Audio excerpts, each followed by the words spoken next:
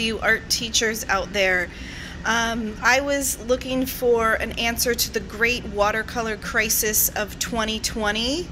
Um, and I found it in liquid watercolors. So, what I do is I put out the liquid watercolors here.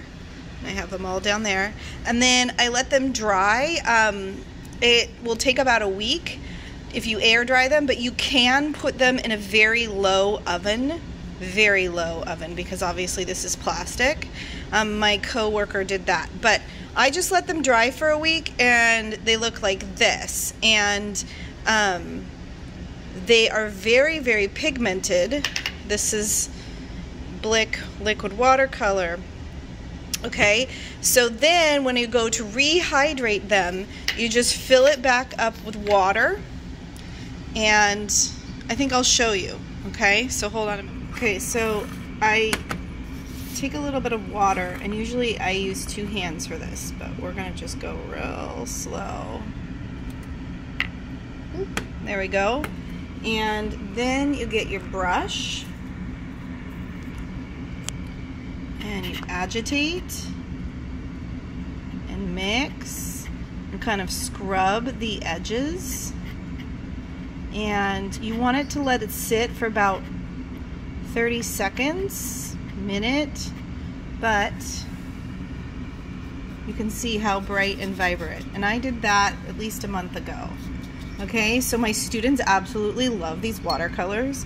Um, so I'm making more just in case the watercolor crisis um, continues into deep into 2021. I want to be prepared. Okay, right. one more thing I forgot to tell you is that these are super concentrated and you can see it's been a minute and the water level is down a little bit. but what you want to do is take this and dilute it even further. So I'm going to go get another palette. So here is my palette. It's actually a food container lid and I love using these because students have these at home. But I just take my brush, I don't even have a watercolor brush here. I put out some water just to kind of show the students, you know, that you need some water and just a little bit. And then I can make it as diluted as I want or it can make it a little bit more strong. Okay, but there's still a little bit of chunkies in there, so I'm trying to, there we go. That's more like a watercolor color. This is not watercolor paper but um, you can make it stronger. You can dilute it more. It's just up to you. Okay, so that's how I use them in the classroom.